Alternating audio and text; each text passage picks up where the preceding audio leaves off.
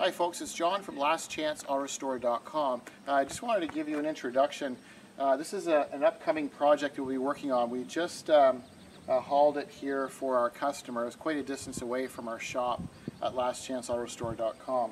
So we just unloaded it. This is a, uh, it's an abandoned project. It's a 1971 uh, Ford Camper Special. It's a three-quarter ton, two-wheel drive truck. Uh, originally a one owner. Um, and uh, they started to work on it. They've done some work to this 360 engine, and it has the C6 automatic tranny. And uh, they tried to do some body work or attempted to start the body work, and then they got in kind of over their heads. So um, this will be a project that we'll uh, we'll share with you once we get started on it in, in the future.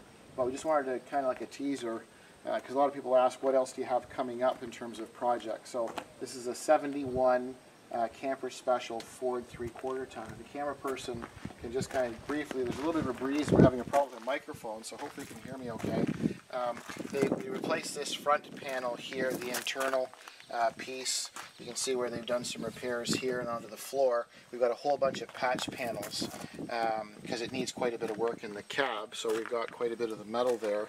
And then you can see, uh, looks like it's been uh, media blasted, and then there's a there's an epoxy that's been put on it, a coating. This is a nice body style, the 71. It's got the bigger hubs being a three-quarter ton. Uh, kind of the oddball size tires. Those are 16 and a halfs, which are very, very difficult rim and tire to find. Uh, we'll probably be updating those wheels and tires, I think. you come around the back, you can see where we've got all, all the, uh, the loose shrapnel in his garage. It was sitting in his garage for probably four or five years, I think they said.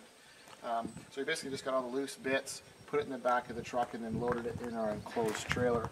And you come down this side, once again, you can get a better idea for the style that it has. Kind of a nice, it's a long bed.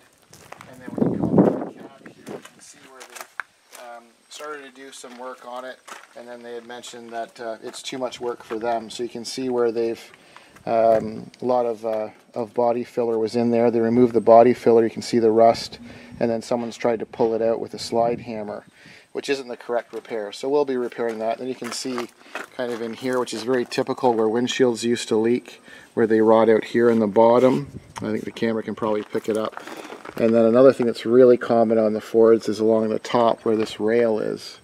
And you can see where it's rusted, so we'll be making pieces for that later on. So the bones are, are all there. It's um, you know, the frame is in decent shape. The body is not, uh, not in terrible overall condition. So it'll be a nice project for us. So uh, we've got all of the extra parts for it here in bins. So just wanted to unload it, um, share with our followers that it's an upcoming project. So uh, 71 Ford uh, camper special. I thank you for watching. I'm John from LastChanceAutoRestore.com.